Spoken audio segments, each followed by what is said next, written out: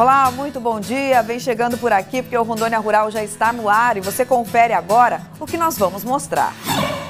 Em Nova Brasilândia do Oeste, Alta Floresta do Oeste, interior do estado de Rondônia, o excesso de chuvas causou estragos e mais de mil famílias de produtores da zona rural ficaram ilhadas.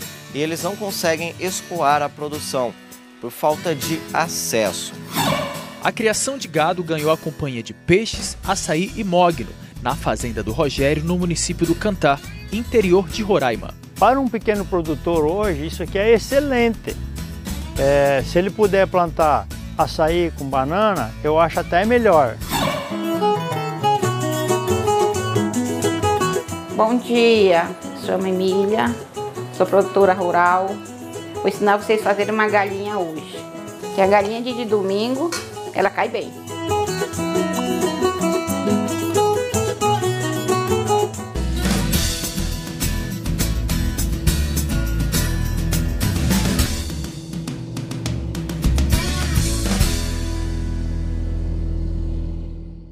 E a gente já abre falando dessa chuva, muita chuva aqui em Rondônia. Os municípios da região da Zona da Mata foram bastante atingidos. Moradores ficaram sem pontes, sem condições de acessos e com dificuldades para escoar a produção.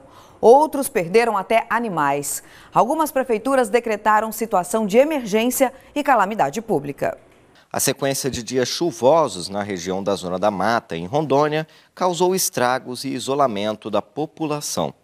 Na última semana, o interior do estado foi atingido por uma quantidade de chuva acima da média para esta época do ano. Segundo os especialistas em meteorologia, juntou o volume e a concentração em alguns municípios. E isso foi suficiente para os rios transbordarem. A cidade de Nova Brasilândia do Oeste, que fica a 500 quilômetros da capital Porto Velho, foi uma das mais afetadas. O município tem cerca de 20 mil habitantes e a metade dos moradores vive na área rural.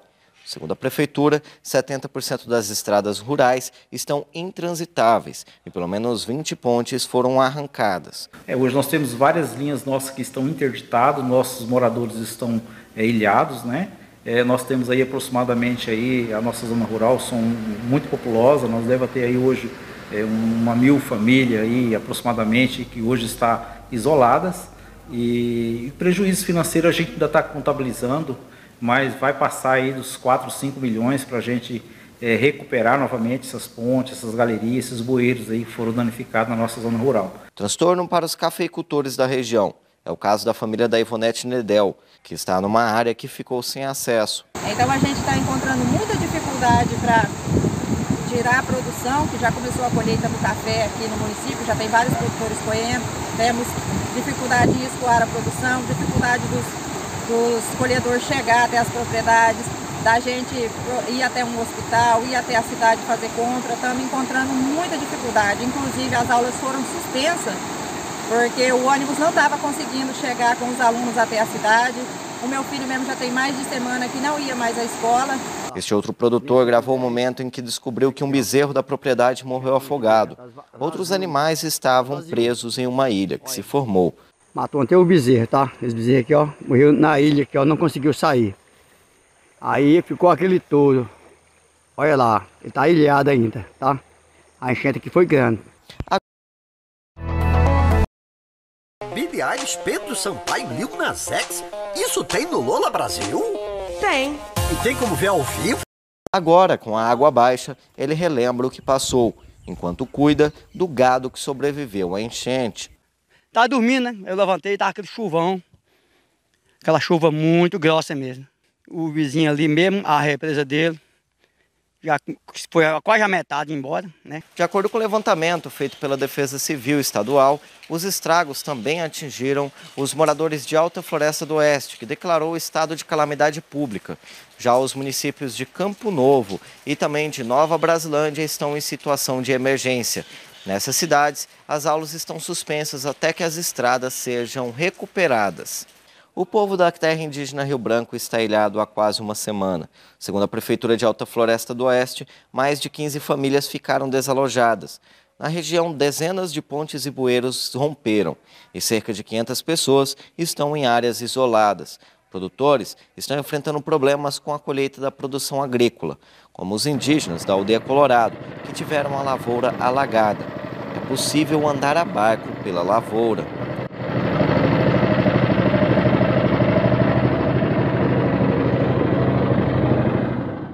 Já iniciamos a colheita do café por aqui. É uma variedade de café precoce, chega mais cedo, P50.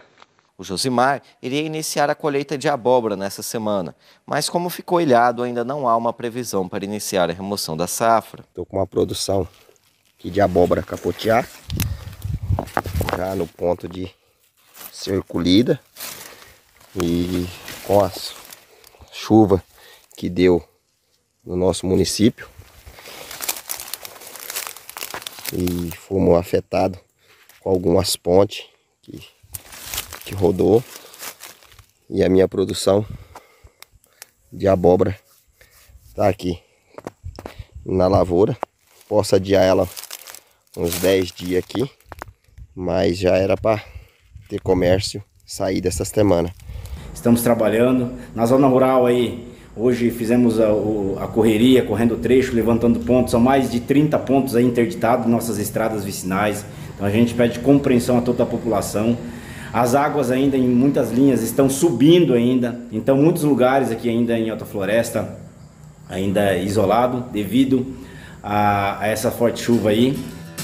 Daqui a pouco vamos falar sobre a liberação do embargo para exportação de carne bovina para a China e sobre o projeto de integração que uniu madeira, açaí e piscicultura numa mesma área.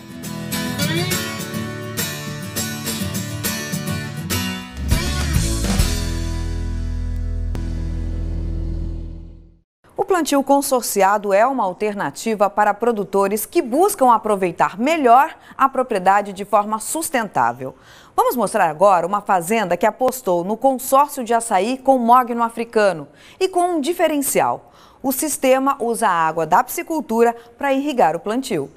A criação de gado ganhou a companhia de peixes, açaí e mogno na fazenda do Rogério, no município do Cantar, interior de Roraima. A propriedade tem 7 mil hectares. O produtor resolveu buscar formas para aproveitar ainda mais a fazenda e decidiu investir também no consórcio de plantações, uma forma de plantar mais de uma cultura no mesmo local e aproveitar benefícios para as duas plantas. Assim, o açaí e o mogno se desenvolvem juntos nesta mesma área. Eu comecei porque a gente via falar muito sobre o mogno. Aí eu resolvi plantar. Tive no primeiro momento dificuldade para encontrar muda. Consegui comprar 2.300 mudas. A metade do mogno senegalense e a metade do mogno ivorense. E plantei também 2.300 mudas de açaí. Então o que, que nós plantamos? Nós usamos uma entrefileira de 6 metros. Na mesma fileira foi plantado um pé de mogno, com dois metros e meio um pé de açaí, dois metros e meio um pé de mogno. Então o mogno entre ele ficou com 5 metros, o açaí entre ele também ficou com 5 metros, sendo que a distância de um açaí para um mogno de 2 metros e meio. São 6 hectares irrigado, onde a gente extrai a, a água dos açudes da piscicultura. Nós no primeiro momento tivemos muita dificuldade por custo de manutenção. Alinhar é necessário para evitar concorrência entre o mogno e o açaí como pela absorção de nutrientes, por exemplo, até a posição da luz do sol foi considerada nessa plantação. Tivemos, porque se a gente não fizesse isso, a gente não ia aproveitar as linhas dentro. Para você usar o mesmo sistema de irrigação que você usa para açaí para o mogno, usar para o milho. Então você vê, nós, nós colhia três safras de milho por ano. Então, graças foi ao planejamento, né? Se ele não fosse planejado de ser plantado de acordo com a posição do sol, nós não ia ter esse aproveitamento. A produção consorciada serve não apenas para aproveitar melhor a fazenda, é uma alternativa de recurso financeiro contínuo. Enquanto o mogno ainda cresce, o açaí já dá frutos. A palmeira leva em média três anos para apresentar os primeiros cachos. A fazenda no interior de Roraima já faz colheita e comercializa para batedores de açaí em Boa Vista, que tem grande o consumo da polpa da fruta. De 15 em 15 dias tem uma parceria com o seu Serra, açaí do Serra, ele vem aqui na fazenda, ele traz o pessoal dele, mais o meu pessoal, e a gente faz a coleta dos cachos que já estão bons. Porque se você prestar atenção, você tem cacho abrindo, você tem cacho com fruto, você tem cacho verde, você tem cacho preto e tem cacho cinza. Quando é o cinza é que ele está bom. E aqui também, se você prestar atenção, a gente está deixando três, três, três brotos do açaí, só, só três pés, para não deixar amontoar muita toceira, que daí não vai carregar. Então segura com média. Como nós plantamos 2.300 pés, hoje aqui deve ter aproximadamente um, quase 6 mil pés, porque alguns ainda não estão com três filhos, né? vamos dizer, três brotos do açaí. Uma poupança verde. É assim que Rogério vê o plantio de mogno. Essas árvores ficam prontas para comercialização em 10 anos, período em que elas atingem maturidade. A madeira do mogno é considerada nobre e tem comércio internacional. A única coisa que a gente assim ainda tem em dúvida é como é que vai ser a comercialização.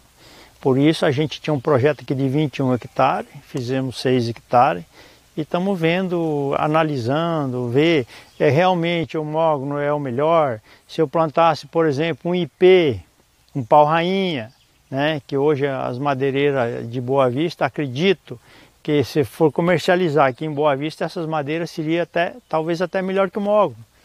Porque o a gestão dele é um valor alto. Então, vamos dizer, muita gente a gente planta achando que vai ter esse retorno, né? Então a gente não tem certeza. Então a gente fez esse planejamento, plantou, estamos vendo como é que se comporta, é todo legalizado. Eu podia até vender para tipo reflorestamento, né? Mas aí a gente não faz isso porque pode a gente até mesmo a gente precisar. Apesar da expectativa de 10 anos de maturação, Rogério Calef acredita que pode ter resultados bem antes. Aqui são 10 anos, mas nós temos uns que são já tão bem grossos, tem outros que estão mais finos. Então eu não sei o motivo, porque eles foram plantados todos juntos. Então pode ser que um aproveita melhor do que o outro, né? Então se você prestarem atenção depois aqui, essa parte aqui é o mogno africano senegalense. Lá para cima é o mogno africano ivorense. São duas qualidades de mogno. Esse aqui ele solta muito broto, ele exige muita poda, né? Aquele de lá já diminui a poda e ele dá mais linheiro, mais reto. Mas o que, o que vem dar suporte para a gente, para dar manutenção aqui é o açaí. Estamos aqui na área do mogno senegalense. A gente percebe que ele se reproduz muito bem junto né, com a plantação de açaí. Tudo isso por conta de um sistema de irrigação altamente automatizado, que funciona das 6 horas da tarde até meia-noite, com um período de uma hora de cada irrigação. Nós temos um sistema de computador ali embaixo, todo dia, 6 horas da tarde, ele aciona ele molha um hectare cada hora. Como são seis hectares, ele vai das seis horas à meia-noite molhando, todo dia. Ele tem que jogar 120 milímetros de água por pé de açaí. Então ele realmente, ele, se não tiver, fica complicado. O cara tem que ter um sistema de irrigação para ter uma produção boa. Mas um detalhe chama a atenção. A água utilizada para irrigar a plantação vem dos tanques da criação de peixes. A piscicultura também é desenvolvida na fazenda. Hoje são mais de 5 mil peixes. A principal espécie é o tambaqui, um dos peixes mais consumidos na Amazônia. Aqui são, são vários tanques, todos eles em média de 2 hectares a 3 hectares. Mantém uma média de 4 a 6 mil peixes e a gente sempre procura tirar com um peso médio de 3 kg. Quando a gente faz as despescas, você vê que o, o terreno aqui ele, é, ele tem declínio. A gente despesca o primeiro açude, porque você tem que baixar a água dele para você conseguir limpar ele. Aí você tirou o peixe do primeiro açude, aí você vai despescar o segundo açude, mas você já fechou o monge lá para a água desse segundo açude que sair ficar armazenado no próximo, entendeu? Então, de acordo que você for dessecando, você vai baixando a água. Quando nós chegar aqui, tem um, dois, três, no quarto açude, eu estou com esses três açudes aqui debaixo quase praticamente todos cheios, já pronto para colocar o peixe. Eu não perco tempo para esperar encher para mim pôr peixe. Com a escolha do plantio consociado, o produtor quer alcançar uma produção mais sustentável e que isso seja exemplo para mais produtores. Para um pequeno produtor hoje, isso aqui é excelente.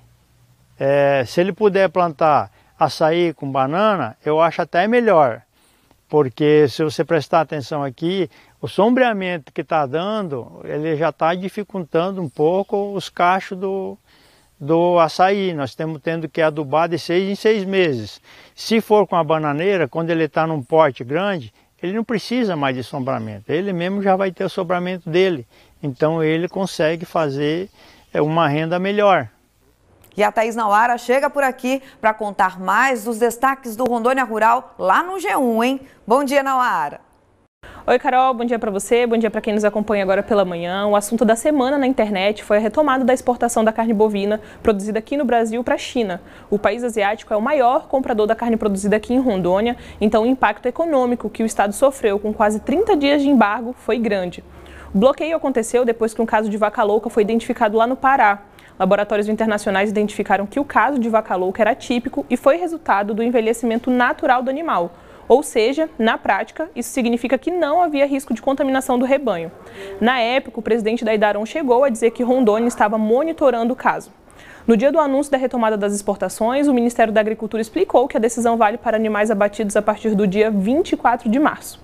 E na última quinta-feira, o governo brasileiro liberou que novos frigoríficos exportem carne bovina ao mercado asiático. Com isso, o ministro da Agricultura disse que o país deve recuperar os prejuízos causados por esse embargo da China é, decidido no último mês. Frigoríficos de Rondônia, Espírito Santo e também do Paraná conseguiram o aval do governo chinês para exportar carne bovina para o país.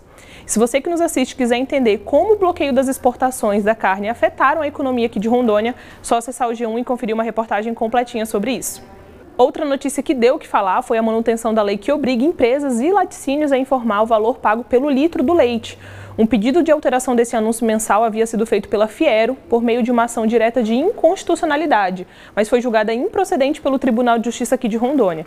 Para a Assembleia Legislativa, a manutenção dessa lei garante transparência ao produtor rural sobre a política de preços do leite. Para entender melhor como que isso funciona, é só acessar a nossa página. Vale lembrar que Rondônia tem um dos menores preços pelo litro do leite praticados no país. Mudando de assunto, outono, a estação que acontece logo após o verão e vem logo antes do inverno, começou oficialmente na última segunda-feira. Aqui em Rondônia, a estação chegou trazendo muita chuva e prejuízos para os moradores de Rondônia, principalmente das cidades do interior do estado. Se você quiser saber como fica o tempo nessa semana, só acessar o G1 e conferir as máximas e as mínimas e também a probabilidade de chuva. Para saber o que acontece no campo aqui em Rondônia, só acessar o G1. Tchau, Carol, boa semana para você e para quem nos acompanha. Beijão. E logo depois do intervalo tem receita da roça por aqui. Nós vamos convidar uma produtora rural para preparar uma galinha caipira. É no instante só, hein? Eu volto já.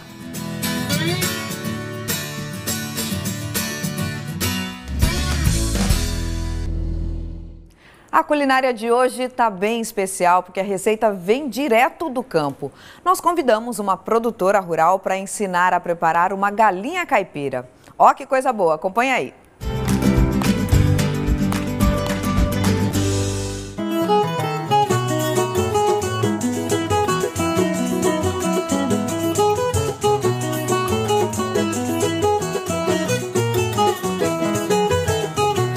Bom dia, chamo Emília, sou produtora rural.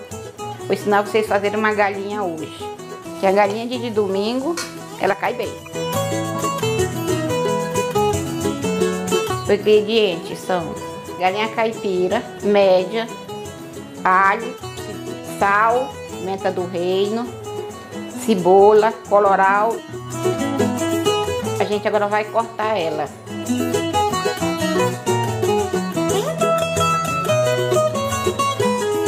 Gente, agora depois que eu cortei a galinha, a gente vai lavar o limão, com dois limão. Para tirar aquele cheirinho que a galinha tem. Agora no momento que já lavemos com, com limão, a galinha a gente vai do tempero. É o alho.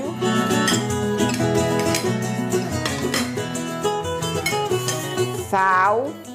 A pimenta do reino e o vinagre. Não é muito vinagre não, viu? Porque senão ela vai ficar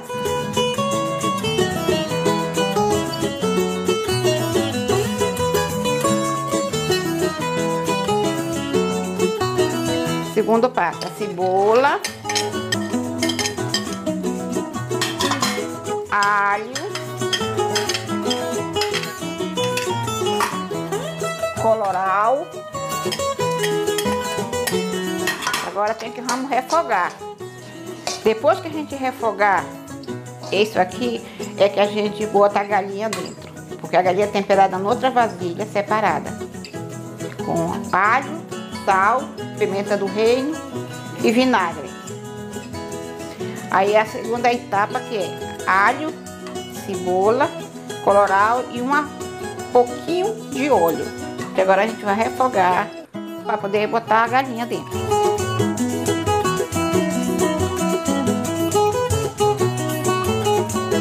Gente, agora depois que tá refogado, bem refogado o alho, a gente vai vir com a galinha, viu?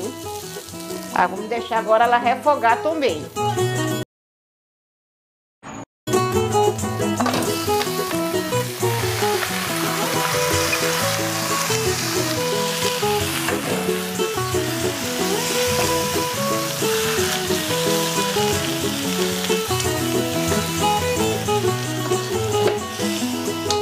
Agora a gente vai tampar e deixar ela refogar que ela vai secar a água.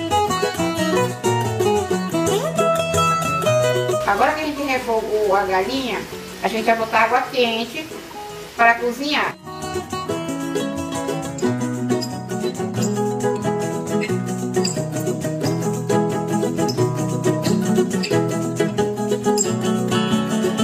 Gente, a nossa galinha para cozinhar mais rápida, nós vamos poner na panela de pressão. Deixar por 5 minutos.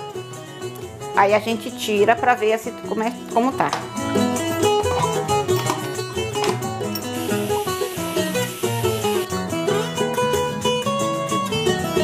Gente, a nossa galinha já finalizou, já tá na, já troquei de panela.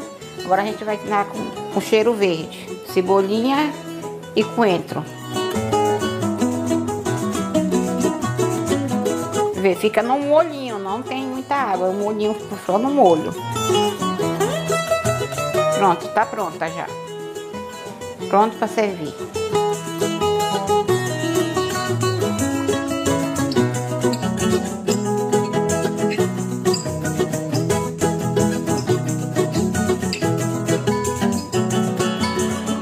Aproveitar meu domingo, comer uma galinha caipira. E vocês?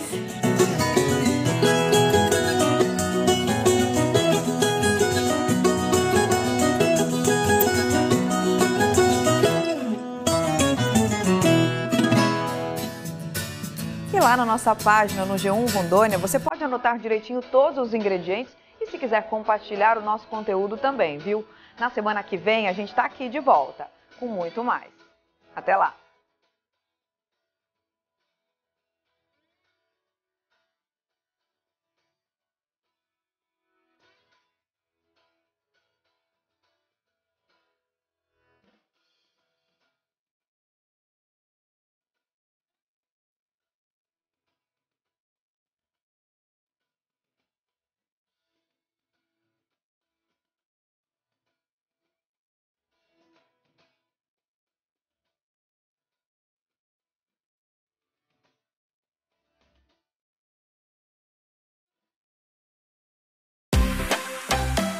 Experimente Chicken Supreme Seara. Casquinha sequinha e fininha como